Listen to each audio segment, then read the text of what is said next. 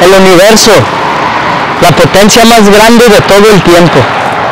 No cabe duda que dentro de mi corazón yo siento una fuerte nostalgia al recordar de dónde vengo, la energía que construye mis pensamientos, brotado del espacio inmenso, como las galaxias, por millones son mis neuronas, que a cada momento, día a día, mi mente está siempre transmitiendo.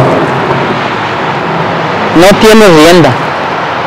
Como dijo De Grassi, el universo es naturaleza, que nos da espectaculares explosiones de su propio combustible. De veras, eventos cataclísmicos de admirar, no como las desgracias que causa la humanidad, en donde mueren tres especies al día, que tu descendencia solo artificialmente conocerá. Qué patético y falta de vida. Date cuenta que vos eres organismo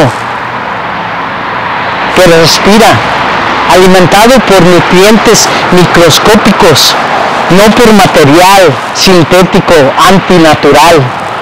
El corazón es sangre, carne, agua, una fuente para el espíritu, que no se preocupa de posiciones ni de la norma social, mas siguen teniendo un colapso financiero o que se acabe de aceite las refinerías.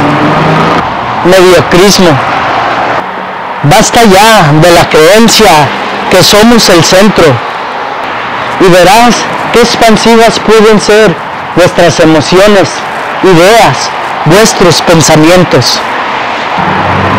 Unirse ya y de veras brillar en nuestra galaxia y ser una maravilla más en esta Vía Láctea.